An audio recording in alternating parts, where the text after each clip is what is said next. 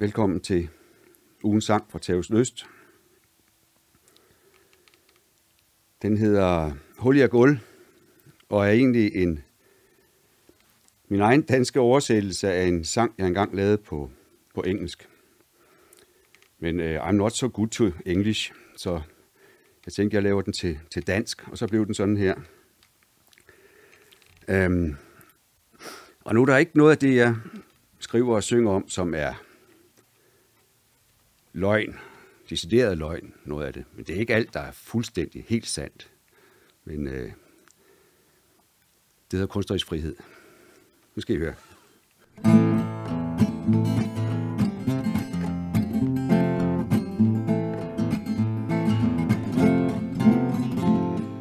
Sad på en bar ind i byen og stirrede hul i et gulv.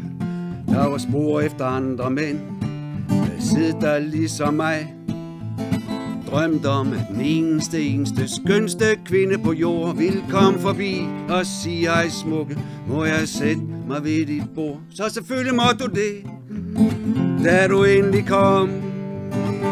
Og jeg er kun lidt fuld og meget ensom. Så selvfølgelig må du det, da du endelig kom. Og jeg er kun lidt fuld og meget ensom år sammen med dig, du havde det helt klart ligesom mig. Jeg tænkte det, de kalder kærlighed ved første blik. Og da natten blev til dag, der var vi to de sidste bag. Jeg spurgte, og du svarede mig med et smil og sagde, selvfølgelig må du det. Gå med mig. Jeg var ensom, ligesom dig.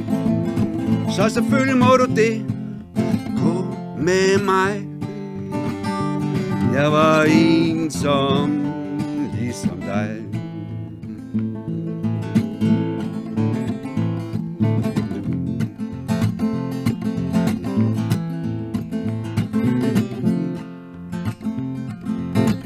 Smutte, mens du sov. Du vågen hold fast, du vil ikke give mig lov at flygte, og det plejer jeg at gøre.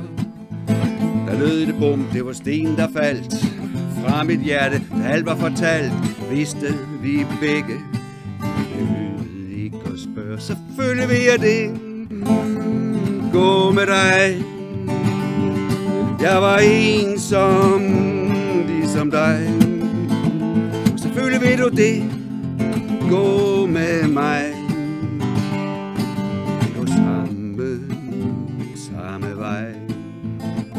Selvfølgelig vil jeg det gå med dig. Gå sammen, samme vej. Og selvfølgelig vil du det. Gå med mig.